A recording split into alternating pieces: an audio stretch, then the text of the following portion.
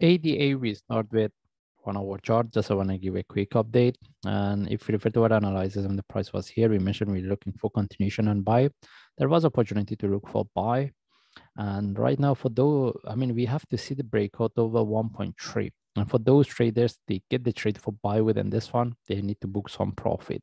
Okay, now the question is whether we can expect, uh, whether the price can break this correction. If the price could break this correction, then we can look for 1.34 as the first target. That's mean for, we can look for the short-term target. The first one is 1.34 following by 1.4.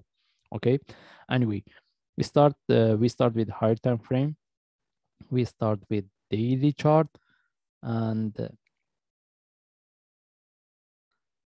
as we can see between daily chart and even if we refer to our analysis, we mentioned we're looking for buy. Believe we have been looking for the reversal. This is what we get. But at this point, we don't see any trade setup for buy as a long term. That means we don't see any reversal point.